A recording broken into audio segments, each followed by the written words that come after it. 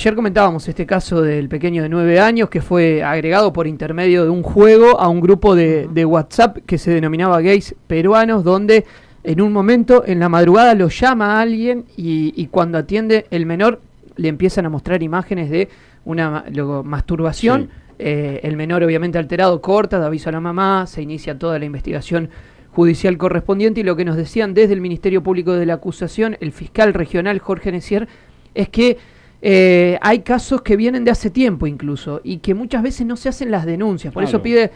a la gente que, que, denuncie. Hoy Ahora van a empezar, ¿eh? Parece que ahora la gente va a decir, bueno, vamos, a sumarle porque son muchos. ¿eh? Ojalá, se, puede, se puede hacer en cualquier centro territorial de denuncias, incluso hasta de manera online se puede hacer en la página del Ministerio Público de la acusación. Ahí automáticamente la abren y hay un, link que, que es como un botón rojo donde hace clic y tiene que rellenar un formulario de manera muy simple y ya queda registrada la denuncia. Así que piden justamente eso, porque son muy pocas las denuncias y por ahí son muchos casos en los cuales el Ministerio Público de la Acusación o la Fiscalía termina actuando de oficio, porque trascienden en los medios y a partir de ahí es que toma intervención un fiscal o una fiscal sobre estos casos. Pero vamos a oír lo que nos decía sobre cómo vienen las investigaciones y las acciones que se están llevando adelante el fiscal regional de aquí del Ministerio Público de la Acusación, Jorge Necier.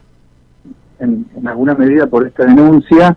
pero también ya previamente por la preocupación que existía a raíz de comentarios que estaban circulando en algunos medios de nuestra ciudad e incluso de Buenos Aires y también en, grupos de padres de algunos colegios de,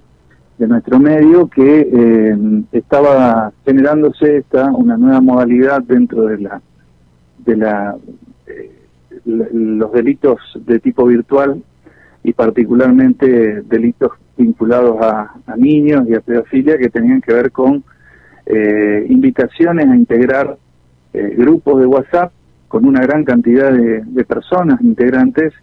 y que normalmente la mecánica era que luego de que la el niño o niña o adolescente estaba integrado al grupo, se empezaban a compartir una serie de archivos, ya sea fotográficos o de video, con contenido connotaciones sexuales o incluso con violencia extrema, eh, de manera totalmente sorpresiva, inadvertida y no y que no era la finalidad precisamente del grupo. Si bien la finalidad nunca aparece clara en, en estos grupos, en algunos casos era simplemente el objetivo de llegar a tal cantidad de integrantes o algo por el estilo, que bueno, hicieron que muchos por ahí participaran de estos de estos grupos con esta consecuencia lo que se ha podido indagar hasta el momento es que eh, generalmente los orígenes son de fuera de las fronteras del país, de otras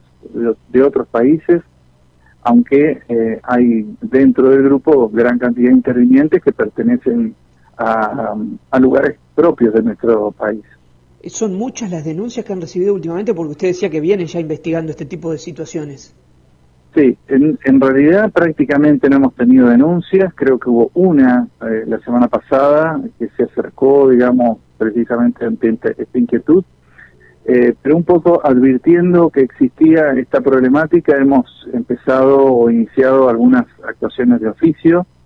requiriendo, bueno, alguna información respecto de,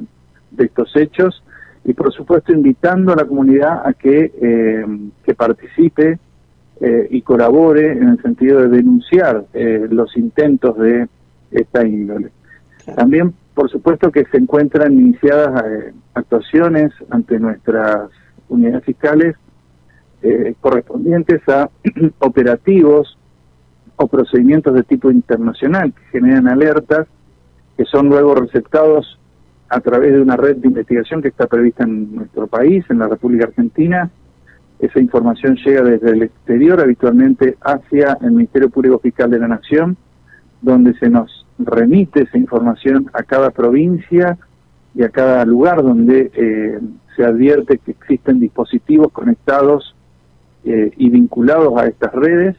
y es ahí donde se procede en consecuencia, habitualmente como es de público conocimiento, ustedes lo han cubierto en más de una oportunidad, allanamientos simultáneos y múltiples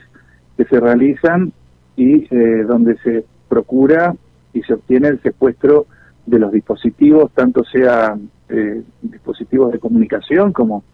celulares, computadoras, o dispositivos de almacenamiento que en muchos casos también existen. Esto